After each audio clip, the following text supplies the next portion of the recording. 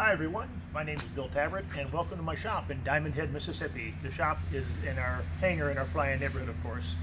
We've been working on our Volmer VJ22 just about every day and uh, the last couple days we've been doing a bunch of wiring. So come into the shop here. Well, in the little tiny workshop. We got a huge mess. My son Charlie's been doing some painting on the trim tabs, the control systems. We've been doing a lot of wiring. It's time for a reboot on the shop. I'm embarrassed that it looks like this, but that's what it is when you're working, working, working. Now we just unboxed these radios. We got uh, two radios from uh, Trig, the transponder and the VHF. We bought them from flyaerosport.com. And man, let me tell you something. Normally, I would do all the wiring myself. When you get them, they have all the pins and the wires and the schematics to, to put it together. I, and I splurged. I said, you know what, I'm just going to go ahead and buy the wiring kits. So I bought the wiring kits. Buy the wiring kits, unless you're just got a lot of time on your hands. So you take the transponder, for example. It's a T22 transponder by Trig.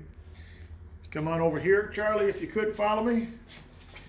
The whole thing weighs 12 ounces, which is crazy low. All right, we don't want to drop the expensive thing. Bringing it back over here. Here's what's involved with wiring. After we mount this, now I'm not talking about the antenna, of course. Plugged in. We got our GPS sensor.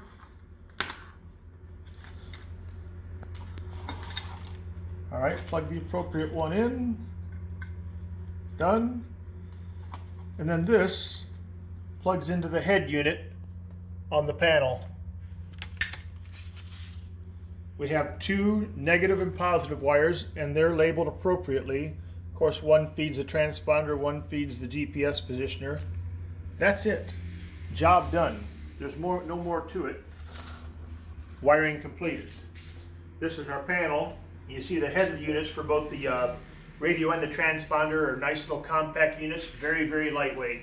And this is not a sales pitch. I'm just impressed enough that I'm making a video about it. All right.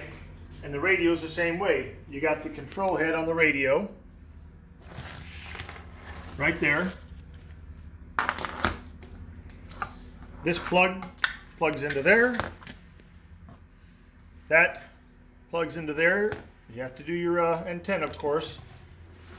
They come pre-wired with all of your uh, headsets and uh, microphones and all that. You got your two PTT wires.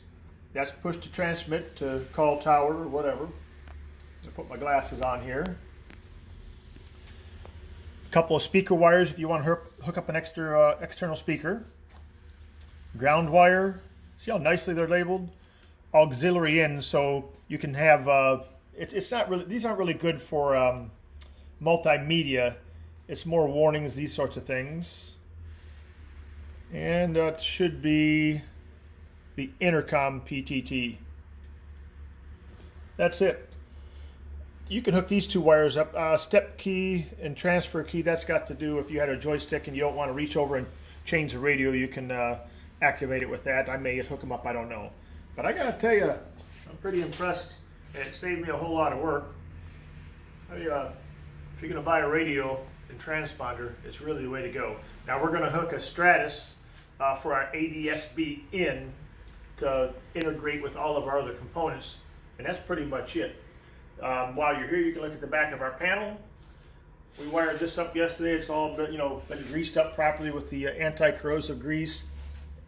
We put uh, all shielded uh, heavy-duty wire for both the circuit breakers and the switches. This small wire right here uh, really just feeds the, uh, the ground for the um, uh, LED lights when they get switched on. We're building our schematic as we go, and this will get all prettied up when it's all said and done. But each one of the wires is labeled appropriately as we use up that number. It gets expired down here in this uh, Neanderthal wiring harness that we're building here, the schematic, will uh, get transferred to a nice CAD or something like that. All right, but uh, for now, that's it. Have a great day, and uh, again, not a sales pitch, but it's pretty cool, man. Have fun.